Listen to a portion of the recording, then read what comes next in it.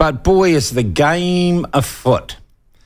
Uh, ahead of an election in October, but we seem to have an administration, a government, maybe in its death throes, that is, boy, trying to progress some of the least sensible and most controversial and damaging of its agenda. Um, and I'm talking in particular about issues around freedom of speech and hate speech and control. Because if anything, if anything has typified this administration, this government, whether it be under Jacinda Ardern or Chris Hipkins, it has been the desire to control its citizenry. The expectation that it has a level of control over you and your emotions and even your thoughts, certainly your utterances. And there is a philosophical belief in the current government that they know what is right, that they are the single source of truth, and that we must create a system where only that truth can be tolerated.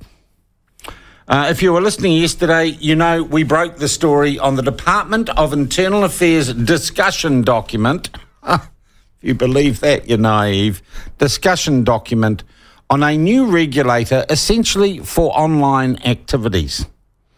And I watched the coverage yesterday, and look, look, this is such a bad idea, such a bad idea. Even, even the um, the mainstream media, the legacy media, like stuff, say it might not be a good idea. Television New Zealand say it might not be a good idea. There's something called the Media Safety or something Council, which is a bunch of the old legacy media dressed as up as something important, even they think it's a bad idea. And it is such an importantly and stunningly bad idea, and it will have such an impact, I believe, on you, and certainly, and I'm not going to dress this up, might have a massive impact on the platform and our freedom of speech and our ability to do what we do. Um, that we, of course, are going to make it a major story. That's why we made it our lead story yesterday, and it's our lead story today. And as I said, underlying it is the idea of control and of regulation by the government, uh, not only of your utter- utterance, but in, in effect, uh, the natural conclusion is of your thoughts and your actions. Uh, amongst the many people, the many people who are concerned about this Department of Internal Affairs, well, discussion document, plan, is the leader of uh, the ACT Party, David Seymour. He joins us by video link now. David, good morning to you. Good morning, Sean. Look, on the face of it, this is dressed up quite nicely. Uh, we've got to stop stuff online that makes girls anorexic or means that people say really nasty or harmful things about other people. Um, and that's the way this is being sold to the public. Um, and also because technology's advanced so much, we just need to do this. Do you buy any of the rationale behind the proposals from DIA? No, I don't. And let's go back to first principles. Why do we stand for free speech? Uh, why did ACT oppose and ultimately, I believe, defeat the government's hate speech laws?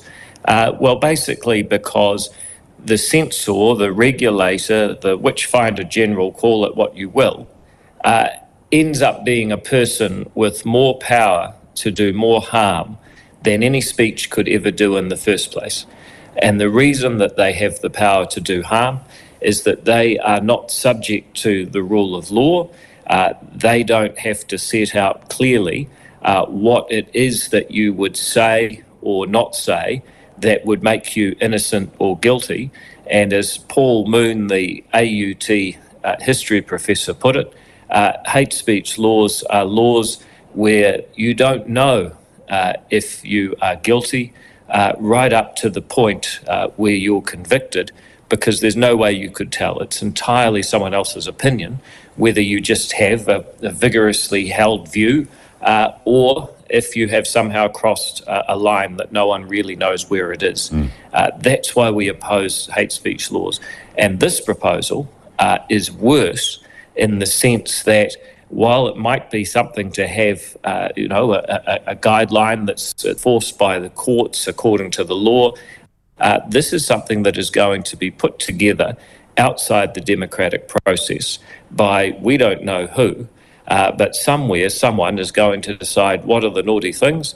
And if you're someone doing business on the internet, if you have a mailing list like X does, like I suspect the platform does, uh, if you have a website, if you have a following, then all of a sudden uh, you are answerable to this group somewhere uh, that you have no influence over. So this is an enormously chilling uh, idea.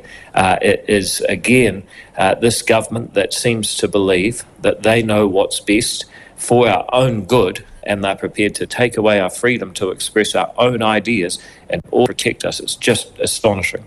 We already have laws, of course, no matter what technology exists, to stop people doing bad things to stop people charging, uh, you know, dealing in child pornography, um, inciting violence against others. We have a raft of laws existing, don't we, that cover the bad stuff that can happen in our society. Well, that's right, and you know, again, when we have the debate about free speech, it's important to be clear that nobody I know is an absolutist. Um, you know, everyone I know is opposed to child pornography.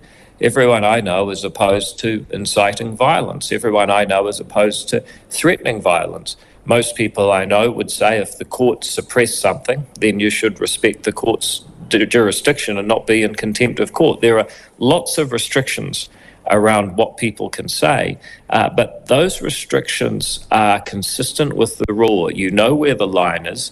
Uh, the law is made openly and democratically, and if you're accused of breaching it, then you can call on the law in your defence uh, and say, Your Honour, or to the jury, I have not broken this rule. Here it is in black and white. Uh, the problem with what's being proposed here is that we don't even know who the lawmakers are and whether or not you've broken one. Uh, entirely uh, subjective, decided in some star chamber kangaroo court, and the net effect of that is people who feel that it's harder to express themselves, that there's more chance of pile-ons and cancel culture, uh, will see the state in some form, who knows what, uh, coming along and saying, actually, you can't say this, mm. uh, but, you, but you didn't know at the time you said it. Yeah. The regulator would also, of course, be a government body, and therefore, as a part of the Crown, it would have to, um, it would, of course, have to um, pay suitable homage and lip service, well, not lip service, real service, to the principles of the Treaty of Waitangi. And I note that uh, even DIA say, oh, yes, we'd be looking out for anything that was uh, against the principles of the treaty, and we'd be applying our code on that. Well, again, this is why it's inconsistent with a free and democratic society. One of the things that needs to be debated, and ACT would say needs to be debated a lot more publicly and vigorously, is what the treaty means. Uh, is it some sort of compact between two races, as Jacinda Ardern likes to say, where you have to look at your family tree to find out what your rights are? Um, or does it guarantee, as I like to say, na tikanga katoa rite tahi, the same rights and duties? That's what the treaty says. Uh, now, am I going to face uh, some regulator where if ACT puts out an email uh, saying, well, we actually think the treaty is a liberal democratic document, and they say, oh, no, no, no, that's not our principles. And this is the problem that, that I began with, is that the censor, the regulator, uh, they, of course, themselves are politicised. They inevitably are because they're just people at the end of the day, but they're people that have the power to suppress your expression, uh, and that leads to unfair debate. So that's why number one, you know, this initiative needs to go. So if you were, you know, thinking you didn't have enough reasons to change the government yet, if you didn't have enough Report Act, here's another one. Uh, we will stop this. Uh, second of all, um, we need to actually have a proper debate about what our treaty means, because I don't think anything in the treaty uh, tells us that we should be divided into two types of people. There was never any consent for this. No one ever asked, would it be better if we divided into two races? No one ever said, yes, that's a great idea, and that's why it needs to stop. Mm. David, bottom line that this legislation, this propo- well, this proposal is sunk if you are going to give anyone the ability or, or join a government that governs New Zealand? Is this bottom line? Well, as you as you know, I, I don't like the yeah, but I, I, I'm asking you the question, and I ask you in complete self interest because to me this is an issue I would vote on. Yeah, well, you know, you know, you know my thoughts on that term, but I think you can be pretty safe uh, to think that uh, you know a government that acts and isn't going to tolerate this kind of thing. We have fought for freedom of speech uh, as long as we've been in Parliament. It's the foundation of a free society, and you won't see us advancing this in government. That's for sure. All right.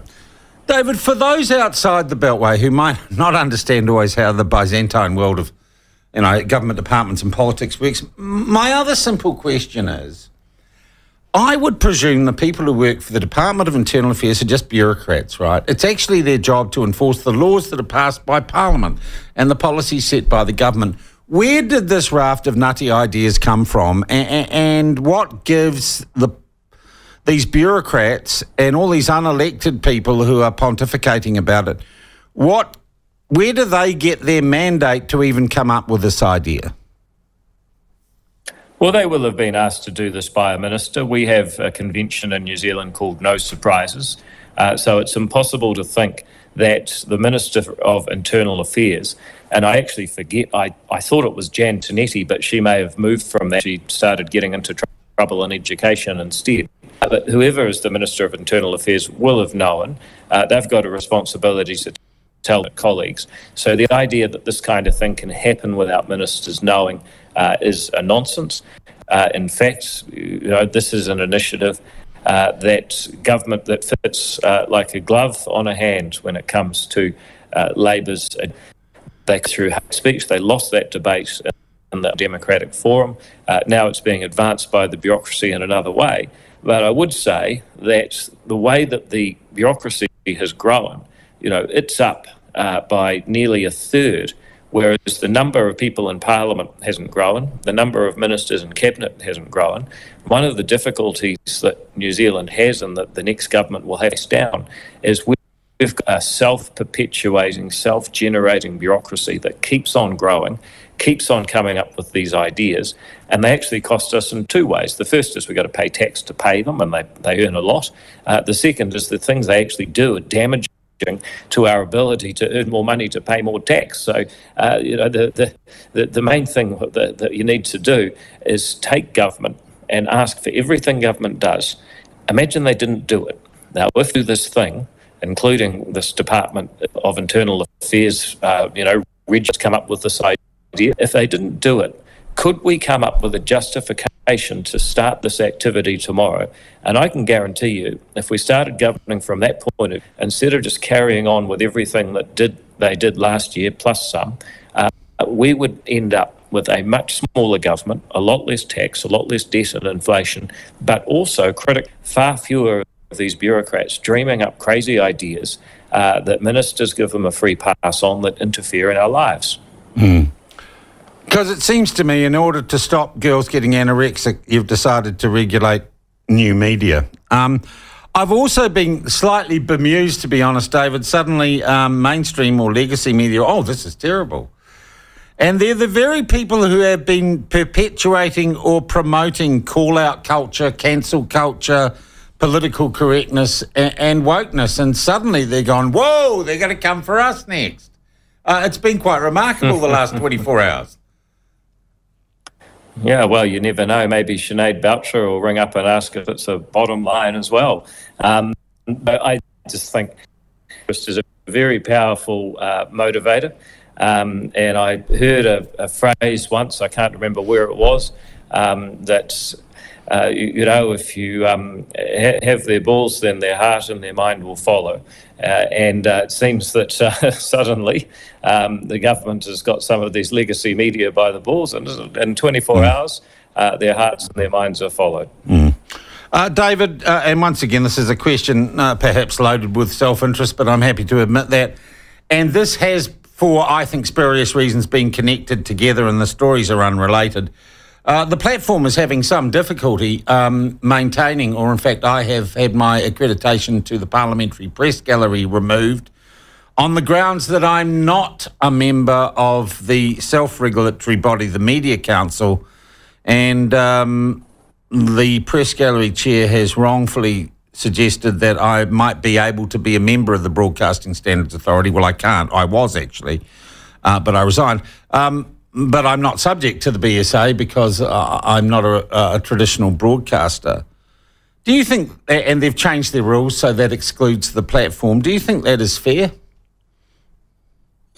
Uh, no, I don't. Uh, I think that obviously Parliament makes its own rules. I would assume, and I'm no. The press gallery makes its rules, uh, not Parliament. But surely this well, well, well, Parliament makes its own rules, and surely the Speaker controls access to Parliament. Yeah. Uh, so I would have thought that at, at, least um, the Speaker has the opportunity to make this decision. And, um, you know, just thinking about it now, having not thought about it before, uh, if the Speaker is supporting that kind of discrimination, um, then perhaps some of us in Parliament should take that up uh, with him because it seems uh, wrong that someone who's asked, you know, perhaps uh, one of the highest rated questions of a Prime Minister in recent time. Uh, that went global, as I understand it, where the Prime Minister couldn't uh, define a woman, um, has uh, actually, you know, added some value. And it seems wrong that um, the rest of the press gallery is excluding you for that. Maybe it's professional jealousy. Yeah, thank you for that, David. I thank you for support, and I need all the help I can get at the moment as well. Look, I also want to look at this just quickly look at, at this issue of the Department of Internal Affairs report in a wider context because it struck me there is a pattern emerging here. And I look at a report out last week from um, a subcommittee of the uh, New Zealand Law Society. And that proposal is, David, that the Law Society give away its right to regulate, be the regulatory body for lawyers, and vest it in a new, yet to be formulated government regulator. And that the government regulator should, according to this committee, should also be subject to applying the principles of the Treaty of Waitangi to the regulation of lawyers. And it seems to me that this government or administration has a penchant for taking regulatory control, government regulatory control of all sorts of industries and areas. They've also done it with real estate agents, which is why they're doing compulsory Maori training or they lose their licenses. This seems to be a pattern. Well, I mean, first of all, what, what the real estate agents have been asked to do is really just outrageous. It has no connection to their job. Um, much like the road signs, we're seeing every day practical activities being hijacked to socially engineer New Zealand. Uh, and that's not going to make us wealthier. It's not going to make us more cohesive. Uh, it's going to make us poorer and more divided. And this is why you hear people saying it's becoming a third world country. When it comes to the lawyers, uh, I think this is actually more critical than other areas. If you look at the frustrations that some people had with doctors, and we discussed this last week, uh, not being able to give exemptions to people who really didn't want to have a vaccine. Well, you can trace that back to the idea that the medical is to some extent uh, directed by the government. Uh, you do the same thing with lawyers, and you've got a real problem because if you're accused of a crime by the state, one of the one of the defences you have, one of the tactics you have, is that you can retain a lawyer who is your advocate and loyal to you and obliged to give you the best defence that they are capable of giving. If you then say, well, that is partly loyal to you, but partly loyal uh, to this government regulator and its philosophical uh, objectives, then you end up in a situation where you don't actually have a critical part uh, of your armoury of defence uh, when accused of a crime by the state. Uh, so this goes to some really fundamental uh, constitutional. Well, David, uh, so if you get the legal profession, you take them out, then you take out the media, you take out the fourth estate, right? Because you regulate them, as the Department of Internal Affairs is suggesting, and you've already got the doctors, right? It's game over, isn't it? Yep. Yeah. Well, what ACT stands for is a pluralistic society where power is not centralised but held in a wide range of institutions so that nobody can have a monopoly on power, nobody can damage your freedoms. But you're right in what you said a moment ago that this government is basically a group of student politicians. They believe in the essence of state action. And the world would be a better place if only they had more power. You look how it worked out with Kiwi Build, you look at Te Pūkenga, you look at what they're doing to early childhood education now. Uh, they are highly destructive. They're like a kid with a big backpack um, in a glassware store. I don't think they even realise how much damage is occurring behind them most of the time, uh, but damage is occurring. And that's why it's so critical that not only do we get this government out, but we acknowledge that many of these built up over decades, and that's why it won't be enough to, to change the government. The change must be real. Uh, that's why I'm in the ACT Party.